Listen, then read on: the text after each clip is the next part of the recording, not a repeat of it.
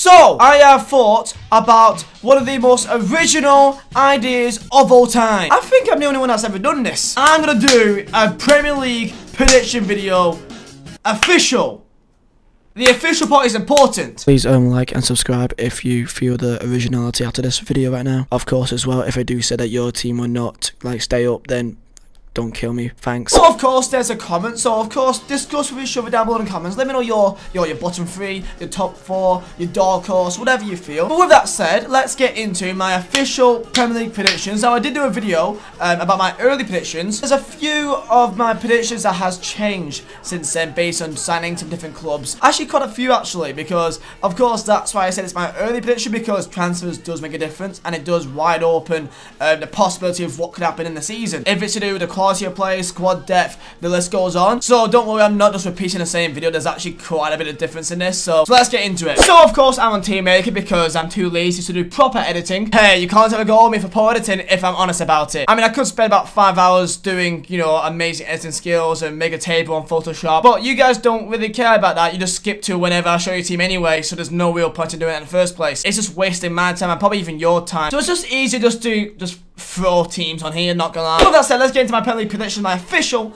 official, okay? It's, it's, it's so official. So I'm not gonna go from like bottom to top, I'm gonna go based on just random teams. So let's start off with a team which I feel like has had a fantastic transfer window, and that team would be Everton. Everton in this window has brought in the likes of Iwobi from Arsenal, of course, Moise Kean from Juventus, uh, Gbamin from the Bundesliga. They've confirmed Andre Gomes as actual signing, and of course Fabian Delph, CDB. They've brought in a lot of depth and quality depth as well. And of course, I rate Marco Silva as a manager, and they already had a pretty, you know, solid team with the likes of Pickford in goal. They got the likes of Richarlison and Sigurdsson attack. Very good players all around. Sigurdsson as a cam role, Iwobi and Richarlison as the wings, and a, a striker could be Moise Kean. Of course, Richarlison can also play as a striker, if that. And there's also likes of Bernard in there as well, which is a good player. And even Theo Walcott, if you want to count him, I guess. They've got a very, very good team. They have sold Idrissa Gueye, but Gbamin is a decent replacement. Maybe not as good. I mean, he's not as experienced. He could be a decent player to throw in the mix. So, Everton, Europa League positions. So, Everton has bought well in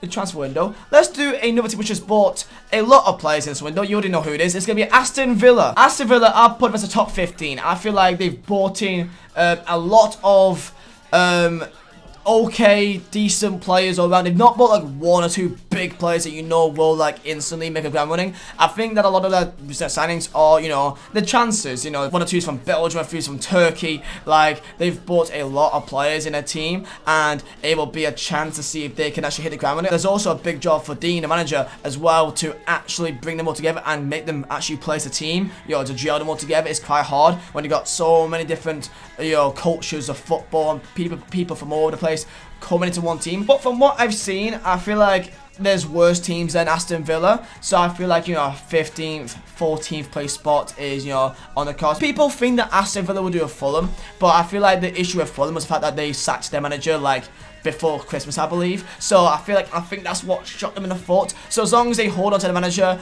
and they keep on to what he wants to do with the team, I feel like they should be fine. Next up, let's do a team for the escaping relegation zone. And I feel like in that midst, it's going to be Newcastle. I'll put Newcastle in escaping relegation. Now, in my official video, I put um, Newcastle in a relegation zone. Since then, Newcastle has brought in players like St. Maximin, Andy Carroll, Willems, um, some Swedish guy from, I think, Sweden, I presume. I feel like they've brought in players well, and Andy Carroll could actually be a very good player if he is fit. He's 30 years old, he's not even that old. I feel like he can actually do a job at Newcastle, not gonna lie, man. And also Joelinton, which they brought in, has done well in pre-season. Steve Bruce, for me, is still a worry, um, but I feel like they may just have enough compared to the other teams. Of course, St. Maximin came from League 1. Will he do well in the Premier League? We can only find out. So where I put him as relegation zone, I think they'll be like a 16th place team this year potentially. So I put Newcastle, who I thought would be down, upwards. Let's put a team which I thought could be challenging for relegation, downwards. And that would be Crystal Palace. I think if they're not careful, they could be severely, severely, like, screwed this season. Let me explain, because you may be thinking, wait, Palace, they they finished, like, 12th last year. Hear me out. Zaha, the main player, obviously, is still Palace, right? Which I guess is good for them, but he's severely pissed off. Like, he's He's put in transfer requests. He wants. He's, he's refused to train. He, and I don't know what's gonna happen. It all depends on how it works. Zaha is the reason why they've stayed up. Let's be honest. For the last year or two, Milivojevic is their top goal scorer, and I think that like he's got like 10, 11 goals or whatever, and most of them are penalties because of Zaha or Townsend. They also had Batshuayi last year, which of course he's gone now back to Chelsea, and now the main strikers is Benteke, who scored one goal last season. Conor Wickham has scored no goals last season, and also Jordan Ayew, who scored one goal last season. So their strikers, all three of the strikers you have right now, the main three strikers, have scored two goals last season. That they are also lacking a right back. They've only got Joe Warden because they sold Wan-Bissaka and didn't replace him. But I feel like all around they are very, very weak. And from what I could tell from a CPFC hashtag on Twitter and from Palace fans, they're very worried. They're very worried from the season, man. I think scoring goals could be an issue for them unless their strikers actually start acting like strikers. So if you're a Palace fan watching this and you're saying, oh, I don't think to go down and you're not worried, I think you're lying. I think most Palace fans are very you know, concerned about the situation right now. So Palace, I think they could go down. Let's do an easy one. Let's do Tottenham. Tottenham, Champions League, I think is pretty nailed on now. They brought in well with Ndombele, Lo Celso, even Ryan Sessegnon as a decent left back option. Um, I think they've done well this summer. They kept on to their big players. Eriksen was leaked out, you know, leaked to go. East Day, Harry Kane still there, Son still there, Dele Alli still there, um, Lucas Moura still there. They've still got a very strong team. Defense, Alderweireld, Vertonghen, Davinson Sanchez. Very solid team. There's not much to really say over the fact that I don't think they win the league. I don't think they've got what it takes to win the league still. You never know if they're going to be second or third, but I don't think they win the league. So Champions League spot for top. Next up, let's do a let's do a West Ham. West Ham top ten. Um, I feel like they've brought in well with Haller. I think Haller is a fantastic signing. I think he'll score at least you know like 14, 15 goals this year. I rate him a lot. He also brings in other players. So I feel like likes of you know Felipe Anderson will do well from him as well. Uh, but I feel like compared him to Everton, I feel like I feel like Everton's just got a bit more than them. Um, I also think that um, Marco Silva is a better manager than Pellegrini. So I, I that's why I put Everton above West Ham. And I'm pretty sure looking back that I put Leicester as a Europa League spot. So I might as well put them in here as well um, while I'm talking about Leicester. And I'll be at Leicester. Of course, I think they'll be top 10. I don't think they'll also push into Europa League. The only question mark is like, you know, how would Chelsea do and, you know, maybe even not like United, they could do pretty poorly. But I still think that, you know, they may have a bit more just. Of course, Leicester brought in Tielemans, Ayoze Perez, uh, Payet as well from Belgium, which is uh, a, bit inexperienced, that uh, of course, but sold Harry Maguire, which would that centre-back be, you know, a miss would they miss Harry Maguire as a centre back? Of course, they still got Wes Morgan, Danny Evans, I think, some Turkish Turkish lad as well. I also do like Brendan Rodgers. I think that he could be a bit better manager as a Marco Silva, but I think that Everton's got a bit more strong of a team than Leicester right now, especially attacking wise. So I'll put Leicester in the top 10. Let's do a top 15 team, and I'll put in Bournemouth. I think that they've they're Bournemouth. They've got good creative players all around. There's not much else really to say. I like Eddie I think he's a good manager. They're a very on and off team. Runs here and there. They have bad runs here and there. You can always expect them to get like one big result at home against like a top six team. You know, Harry Wilson with Callum Wilson with Josh King, with Fraser, with Brooks. I feel like as an attack, I think they're very solid. Yeah, I'll put them top 15, like always. Also in top 15, Southampton, I think that they've done well um, with their signings. From what I've seen, I think they're a good team. Che Adams, I think, will be a class signing for them. People people think Southampton may do poorly, but I think that's because of how poor they started. Because of um, was it was it Hughes? Was it Hughes the manager beforehand? He, he's terrible. Their defense could still be a bit iffy here and there, I'll be honest. I don't rate it that much, so I think if they will come anywhere, I'll say 15th maybe. Let's do a relegated team, and I think for me, I'll put... Oh, it's a tough one, man. I think I've got to put in Norwich. Um, I like Norwich. I like um, talking Norwich City, Jack Reeve. I mix with them. Um, I like. I don't mind Norwich as a team. You know, I think they play good football. I just feel like defensively they are very poor. Of course, they won the league last year everything went right from last year. I think they won like 22 points, something mad like that, from a losing position. So they, they concede first a lot. So I feel like in the Premier League, I don't think that they can do that that much. That's a very good start, but that's in the Championship. The Premier League is a different beast, and I don't think, let's say if you go 1 0 down, I don't think they can claim that many points back um, compared to the Championship. So for that alone, I think the defence is very poor, and I think that that'd be their main downfall. Similar to like a Fulham, they went down because their attack was somewhat decent and their midfield was somewhat okay, but their defence was very, very weak, and that's why they got sent down. And I think for Norwich it should be a similar kind of story. I don't. I feel bad because I feel like everyone writes them off here because Typically, they've got bad history with Premier League. They usually go down. They've, of course, got some good your young players already in the team with your Matt, Sh Max Aarons, Godfrey. They are, of course, inexperienced, so it's all brand new to them. And, of course, experience is important in the Premier League, which I feel like they lack a lot. Let's do a big team, and let's put in, let, let's say, let's say Arsenal. Let's say Arsenal, right? I think Arsenal is going to be in the Champions League this year. I think they'll claim that fourth spot. A better manager than your Man United or Chelsea. Emery versus Lampard and Solskjaer, I think it's pretty obvious. Lampard is, of course, inexperienced, and Solskjaer, I just don't think he has what it takes.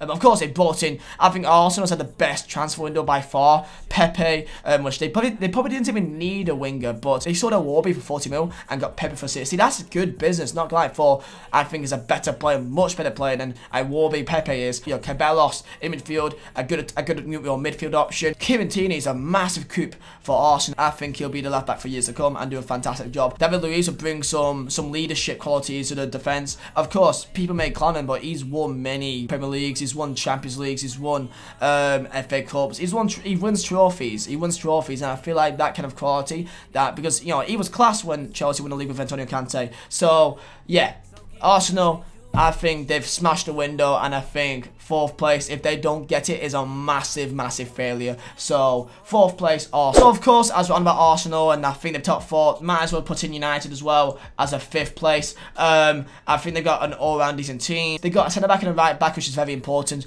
Is Maguire that good? He's better than what they have, but I don't think he's insane. He'll do a better job than what they've got, and I think that's kind of what matters. Wan-Bissaka is a class setting, in my opinion, and also uh, James, I think he can be a good you know, play off the bench sometimes, you know, but I don't think he's ready right now for Premier League. There's no way in hell he is. It's a big year for Rashford and Martial to really, like, you know, come to their own kind of, you know, beast right now. They can be really, really good together and form a partnership and then get to top four. That could happen quite well. But they could also be inconsistent like what they usually are and then still come fifth or sixth place. Other than Pogba in the midfield, it's Matic, which is, you know, downgrading now. Let's be real here, guys. Fred, um, also Andreas Pereira. Uh, I just feel like they're a bit weak there uh, for Manchester United kind of standard. So I think Europa League spot this year could be on hand again. But you never know, they could win the Europa League and then also, you know, go through Champions League that way. You never know. That could be possible. So, still have a chance of winning the Europa League, United fans. So, good luck in that. And Chelsea, people may think that they will maybe drop down to like an 8th place team meaning that like maybe like a Leicester could be in your police spot and Chelsea could be down there. If you're a Chelsea fan, then you will see this year as like a bye season. Um, the strikers right now is your Giroud, Tammy Abraham, and Batshuayi. There's no real like standard quality striker they have, which you know get like 15 goals a year. But that could be the reason why people may think they do poorly. Pulisic, inexperienced, Willian, Chelsea fans hate it. Hudson-Odoi is injured now, but he could come good in the year. Chelsea has lost David Luiz. That means that means uh, that means the centre backs is Christensen, Zouma, um, and Rudiger. But if their young players do not thrive, they could seriously be in the, the like eighth, ninth place this year, and um, and it's not too unlike Chelsea to see them you know slip down to like eighth, ninth place. So yeah, Chelsea I put them as like a seventh place. I think Everton could be above them. Not gonna lie. Next up, let's do Wolves. Wolves top ten. Um, people may think they'll be seventh place this year. I don't think they will. Um, mainly because I think they're a good team. I think they'll qualify to group stages of Europa League, and I think that Europa League will harm them